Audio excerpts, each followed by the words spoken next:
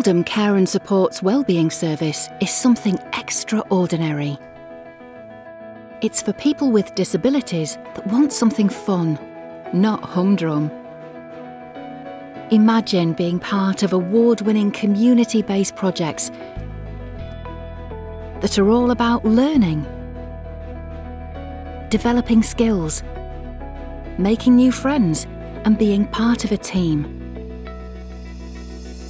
The Wellbeing Service is a day service with a difference.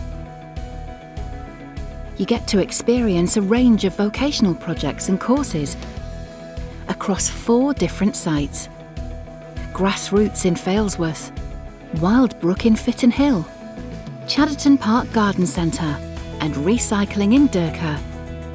There's lots of different things for you to do and people to meet in places which make you feel safe somewhere where you can learn new things and get more confidence so you can do more for yourself every day. Every person who supports and works with you is experienced and qualified so that they can help you to be at your best. Being part of the wellbeing team is about promoting and developing independence, but in a way that is fun, supportive, and about you and what you want to learn or need support with.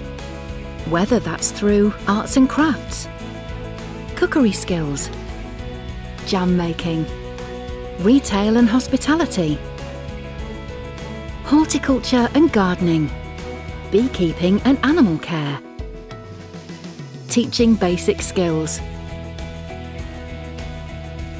obtaining qualifications travel training, or helping you to develop the skills for employment. To try out your free taster day, call the Wellbeing Service on 0161 770 8500